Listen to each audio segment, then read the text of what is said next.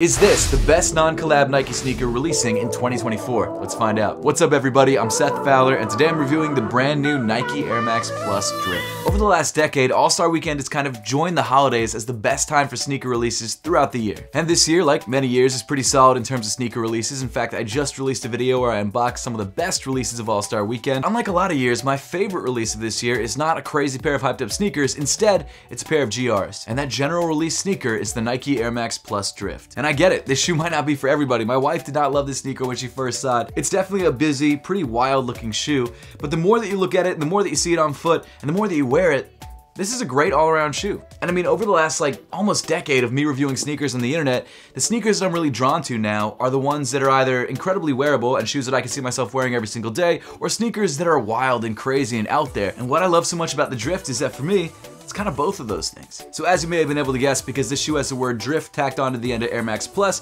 this shoe is an updated version of the Air Max Plus. A shoe which first released back in 1998 and has been so popular that it's never come off the shelves and has continued to stay popular into 2024 almost 26 years, it's pretty insane. And so to mark that milestone, Nike decided to release an updated version of the shoe for the 25th anniversary called the Air Max Plus Drift. Now over the last few years, we have had variations of the Air Max Plus, like the Air Vapor Max Plus, which is essentially the Air Max Plus's upper tacked onto a Vapor Max midsole and outsole. And honestly, from what I can tell, at least right now, it seems like the Air Vapor Max Plus is a more popular sneaker than the standard Vapor Max. Now to be fair, it seems like the Vapor Max has kind of lost its step since it first released back in 2016, but the Air Vapor Max Plus Still an incredibly popular shoe. But even with the meteoric rise and even the sustained success of the Air Max Plus, it was never a shoe that I was that interested in. But for some reason, I don't know if it's the molded upper or the colorway or the new midsole, I'm not totally sure, but whatever the case may be, I love the Air Max Plus Drift. But before we dive into this once performance running sneaker and now lifestyle shoe, let me tell you guys how you can get a pair of the Air Max Plus Drift. So the colorway that I've got right here is the Phantom slash Cacao Wow colorway, which is apparently the launch colorway of the shoe. And while this shoe was originally slated to release on February 15th, it seems like certain retailers have gotten the shoe early and certain retailers aren't set to get them until later on in the month. And that's kind of just what happens with GR releases. While there might be a set release date, if it's not a hyped up release that you need special release procedures for, Nike will just kind of send it to you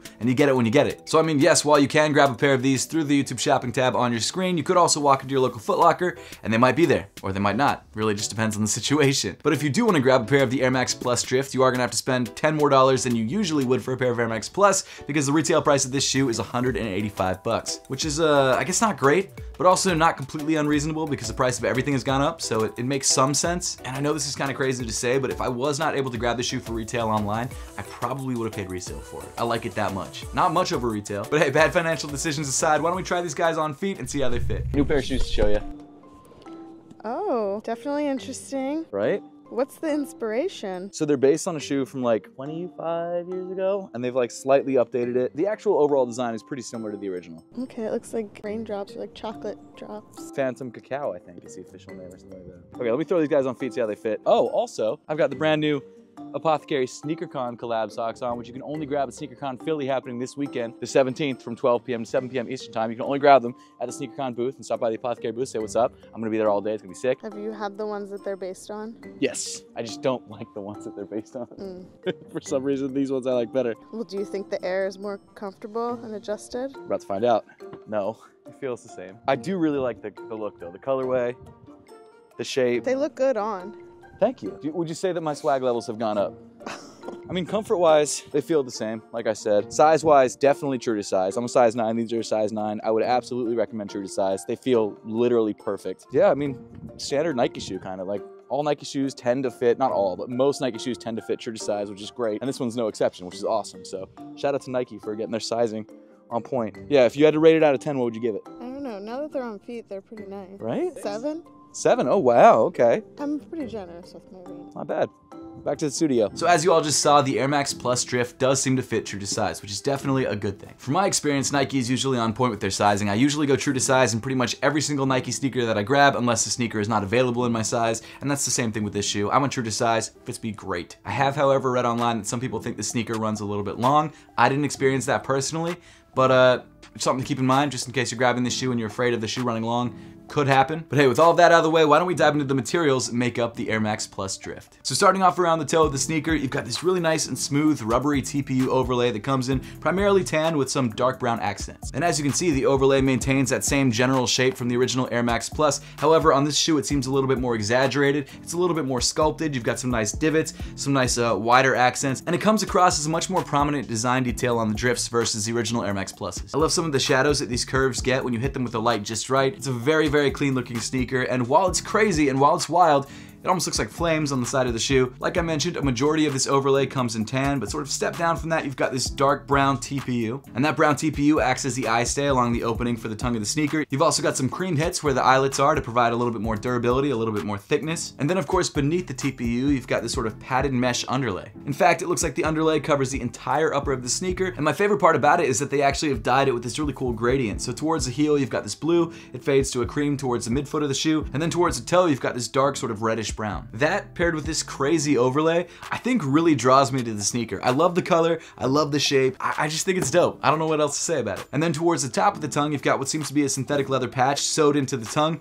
and then on top of that, you've got this blue Nike Air logo. Moving inside the sneaker, you've got a dark brown sock liner accented by a brown insole, which features the tuned Air logo printed on the heel. And then continuing around to the back of the shoe, you've got this 3D Nike swoosh that comes in this light blue. It also has a sort of glisten to it, which I really like. really catches the light nicely. And then on the heel of the shoe, you've got this molded ridge with the words tuned air debossed into it. They really want you to know about that tuned air. Moving down on the sneaker, you get to the white foam midsole with the visible air units that feature the tuned air, which I'll be honest, when I first heard about this shoe, the way that I read the articles that I was reading, which sounds stupid, but I thought that they retuned it from the original Air Max Plus, I don't think that's the case now that I've worn this shoe. I think it is just truly the same tuned air as before. Could be wrong about that, but after feeling this shoe on foot, feels the same. So I guess tuned from 1998, not retuned in 2024. Finally, moving to the bottom of the shoe, you've got this gum-colored outsole accented by blue hits, cream hits, and darker brown hits. They put a lot of rubber into this outsole though. This is a heavy sneaker. I mean, it's a good thing. It feels premium, it feels expensive. I also noticed it when I was unboxing the sneaker. Like the box felt heavier than every other sneaker box that I was unboxing. All right, so the Air Max Plus Drift. What does the Drift mean? I still don't know, but I will say that I do really like this sneaker a lot as a lifestyle shoe. Could you run in this shoe? Sure, you can run in any shoe. I'm running in the Yeezy Pods at the moment because I'm filming the long-term review, and if you're watching this video after that comes out, I'll make sure to leave a link to it at the top of the screen. Uh, and that is probably the most ridiculous shoe that you can run in, but this shoe is gonna be better than a lot of other sneakers out there. Obviously not as good as like a specifically modern running sneaker, but it is gonna be solid underfoot, literally and figuratively, and uh, it's not a bad sneaker. And I guess if you wanna buy the shoe to run in, you can, but let's be honest, for less money, you can get better running sneakers, so I purely see this as a lifestyle shoe. And as a lifestyle shoe, I actually like this sneaker a lot. I think it looks really cool, really modern, really interesting, even though it first released back in 1998. But with these small tweaks, it feels like a shoe that fits in 2024, especially with the current sneaker trend being 2000s running sneakers, because essentially that's what this shoe is. For 185 bucks, is the Air Max Plus Drift worth it? In my opinion, if you're willing to pay the price, Yes, I think it's a great overall sneaker. It feels good on foot. It's not incredibly comfortable, but it's definitely not uncomfortable. Kind of feels like a pair of Air Forces on your feet. It's fine. In my opinion, the reason you buy this shoe is because you like the way it looks, and I love the way this sneaker looks, so that's why I had to buy a pair for myself. But hey, at this point, I would love to know your thoughts on the Air Max Plus Drift and whether you're planning to grab a pair whenever it finally releases, so make sure to let me know in the comment section down below. Thank you all so much for watching. Make sure to subscribe if you haven't yet, and I will see you all in the next one.